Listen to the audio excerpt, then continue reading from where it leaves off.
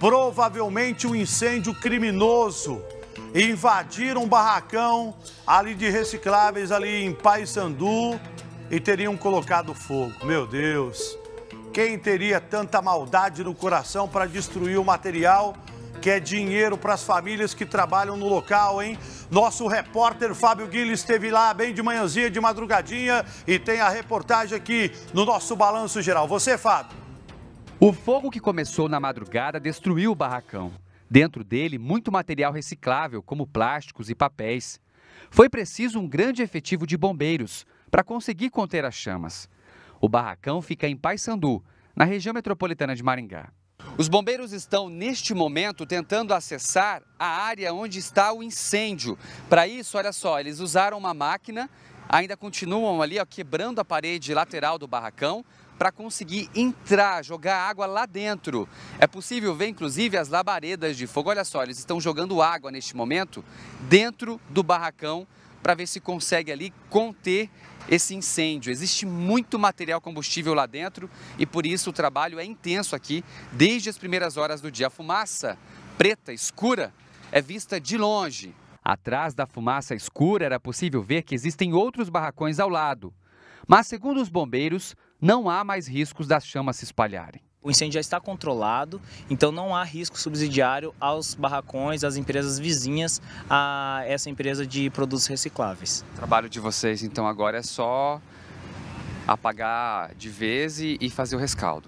Sim, agora o Corpo de Bombeiros vai trabalhar na finalização do combate ao incêndio, né, com a retirada do telhado é, que colapsou e no combate ao produto, aos produtos que estão inflamados embaixo desse telhado e também na parte de rescaldo, que é a finalização do combate ao incêndio. Os funcionários e o dono da empresa de recicláveis ficaram de longe, observando o fogo destruir tudo. Hoje tem mais de 100 famílias dependidas aí, 100 pessoas aqui. É muita gente, né? E agora que acabou tudo. Os funcionários estão tudo tristes aí, ó. não tem como trabalhar aí, né? Esperar agora para ver o que vai acontecer. O barracão tinha um vigia que passava as noites no local. Ele disse que a empresa pode ter sido invadida durante a madrugada. Quando ele acordou com o cheiro da fumaça, ele não viu o celular dele. E sempre que o celular dele ficava, qualquer coisa acontecesse, ele ligava para mim. Aí ele foi caçar o celular e não achou. Levaram o celular? Levaram o celular dele.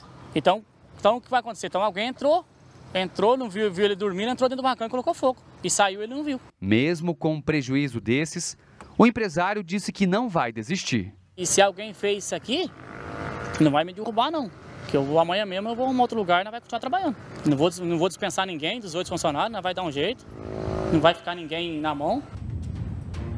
E a destruição foi total, hein? Olha aí a imagem que o Fábio, o Rafael filmou hoje de manhã. Coloca o meu computador no ar aqui que um telespectador passou de madrugada e filmou lá também. Olha a imagem, já durante a madrugada, o Corpo de Bombeiros tentando controlar o incêndio, mas não teve como controlar, infelizmente a destruição foi total.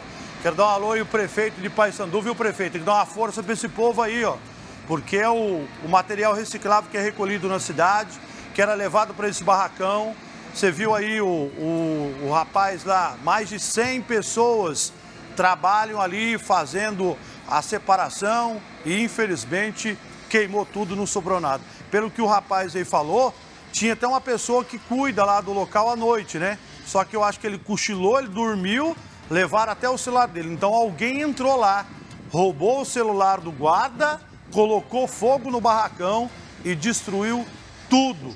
E o que chama a atenção é que esse não é o único incêndio de, de local reciclável, que queimou aqui em Maringá também, lá botaram fogo lá também. Então colocaram fogo aqui, colocaram fogo aí. Quem teria a intenção de destruir o material que vira dinheiro para os tratadores de recicláveis?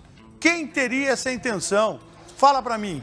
Quem teria tanta maldade no coração para destruir tudo? Um material que depois vai virar dinheiro para as famílias. Infelizmente, tem gente maldosa e a polícia agora vai entrar na investigação. Se você é de Paysandu Sabe de alguma coisa? Não tenha medo não. Denuncie para a polícia através do telefone 181.